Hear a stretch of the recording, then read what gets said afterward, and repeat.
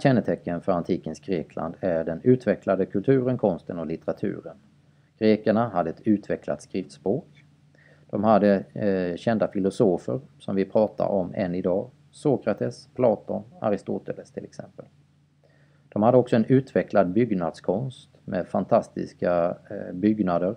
En del av dem går ju att se än idag, även om mycket har vittrat sönder. Inte minst i storstaden Aten med så pass mycket avgaser. Också väldigt vackra skulpturer och målningar. Och även kända litterära verk såsom Iliaden och Odysseen som bland annat tar upp kriget mot Troja. Här kommer lite grann figur över hur grekerna utvecklade det feniciska alfabetet och i samma figur så kan vi också se hur romarna sen utvecklade det grekiska alfabetet till det latinska arbetet och den som är riktigt snabb i synen kan ju konstatera att det latinska alfabetet är detsamma som vi använder idag. Sedan har vi i Sverige då lagt till med de här spännande bokstäverna Å, Ä och Ö. Här har vi några bilder på de här tre grekiska kända filosoferna. Sokrates, Platon och Aristoteles.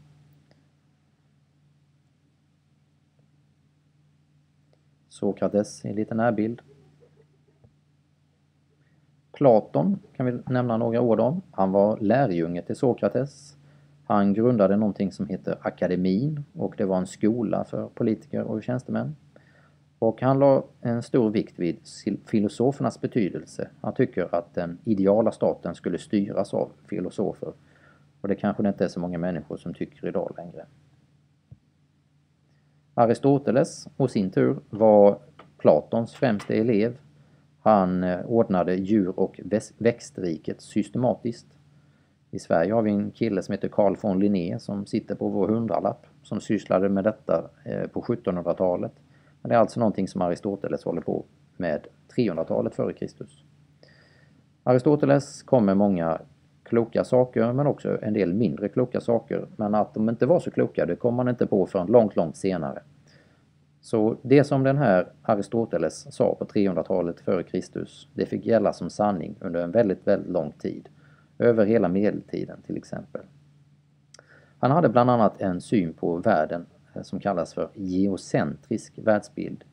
Geo betyder jorden och geocentrisk betyder att jorden var i centrum och andra himlakroppar kretsade runt oss.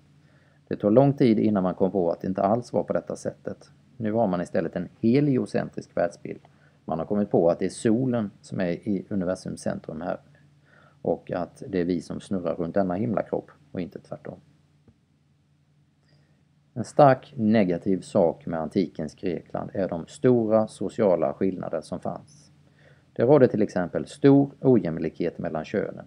Kvinnan var helt bunden till hemmet. Där skulle hon sköta hushåll och barn. Den viktigaste uppgiften för kvinnan var att föra mannens arv vidare. Det var alltså viktigt att få söner. Det fanns också väldigt många slavar och de här slavarna var helt och hållet som andra människors egendom kunde köpas och säljas och man behandlade dem efter eget tycke och smak. Synen på prostitution och homosexualitet var lite annorlunda under, än under senare i historien. Eh, det var helt vanligt och det var legitimt, det vill säga det var accepterat. Här är en liten bild på eh, en så kallad sällskapsdam som då på grekiska kallas för hetärer. Och här är ett litet uttalande från en eh, kruka man har hittat som eh, beskriver lite grann hur mannen såg på kvinnor. Hetärer håller vi som underhållande sällskap och prostituerade med sikte på kroppens dagliga nöje. Men hustrur har vi för att få äktfödda barn och en trogen väktare av vårt hus. Jo, jo, det var väl en vacker syn på kvinnor på den tiden. Hoppas, ni, hoppas att ni herrar som lyssnar på detta har moderniserats en smula och kan ha en lite modernare syn på eh, ert motsatta kön. Antikens Grekland är en ganska lång period och eh, därför har man delat in den i flera eh, mindre perioder. Och på nästa sida så kommer vi titta på dessa vi känner bäst till den klassiska tiden och Alexander den store och hans fälttåg, men jag vill ändå nämna några andra perioder. För er som har varit på Kreta vilket jag själv har varit, och besökt Knossos, vilket jag själv har gjort, så eh, är det en civilisation som fanns ungefär 2000 år före Kristus.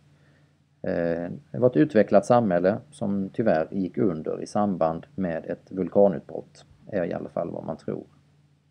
Lite senare var det staden Mykene på Pele, ja, Peloponnesos främsta. Då var, det, då var det staden Mykene som var den främsta stadsstaten och det ligger ju på fastlandet till. Lite senare så var det här kriget mot Troja som finns dokumenterat i litteraturen. Sedan har vi en period som är dyster, 1050 till 700 f.Kr. Här var det en tillbakagång inom hantverk och kultur. Eh, under 700 till 490 f.Kr. så var det en period med ganska stor utvandring, kolonisation. Greker flyttade till andra delar närmare eh, över Medelhavet och startade nya samhällen. Eh, man fortsatte att handla med dessa områden så att det ingick på något sätt i det grekiska riket eller området. Sen har vi den eh, mer kända perioden i antikens Greklands historia och det kallas då för den klassiska tiden, 490 till 340 f.Kr. Och sedan så kommer en annan känd period som ni kanske har sett om i, eh, på film.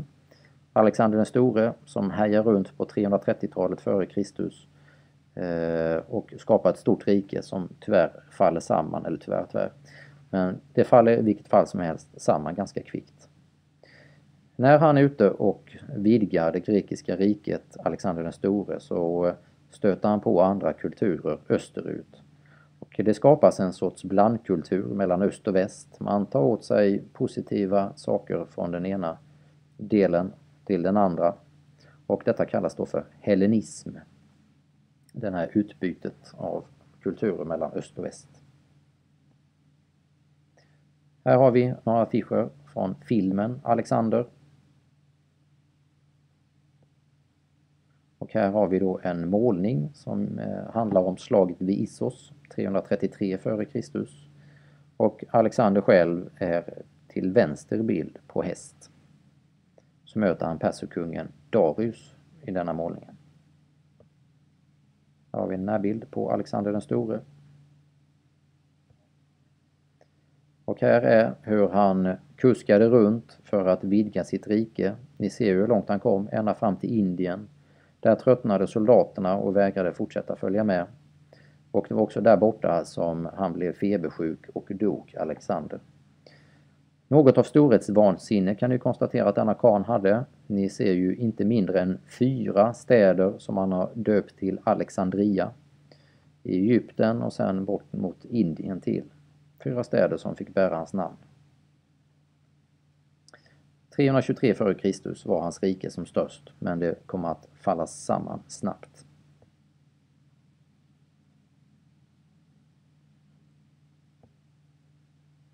Och när antikens Grekland tappar så eh, börjar det här riket splittras. När Alexander dör så blir det ingen naturlig arvtagare som lyckas hålla ihop makten och riket utan det splittras. Men grekernas kultur har spridits och det är det vi alltså kallar för hellenismen. Romarna suger åt sig kulturen och vidareutvecklar denna.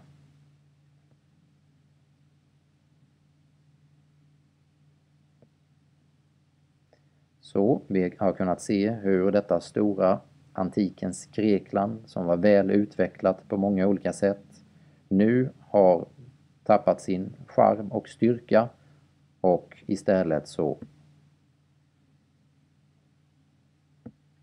är det dags att prata och lägga tyngdpunkten vid nästa stora rike och det är romarriket som också ingår i epoken antiken.